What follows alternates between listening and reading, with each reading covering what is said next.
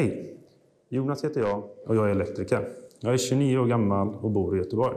Och jag kandiderar till regionfullmäktige i Västra Götaland. Sjukvården idag den har sina brister. Det kan vi konstatera.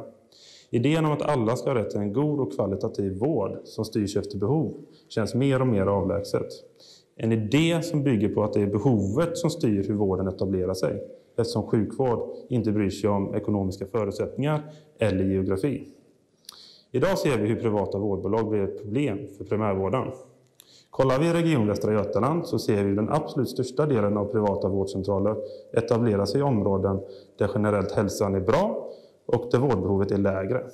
Men kollar vi på förorterna och på glesbygden så är etableringen nästan obefintlig, där generellt vårdbehovet är större och avstånden är längre. Vi skapar i praktiken ett A-lag och ett B-lag inom vården. Det är inte så här vi ska bedriva vård i Sverige. Det är dags att vi tar tillbaka kontrollen och sätter behovet i fokus istället för vinstintresset. Och det här är en av anledningarna till varför jag kandiderar till regionfullmäktige i Västra Götaland. Och med ert förtroende är jag redo att ta den kampen för en bättre sjukvård i Region Västra Götaland.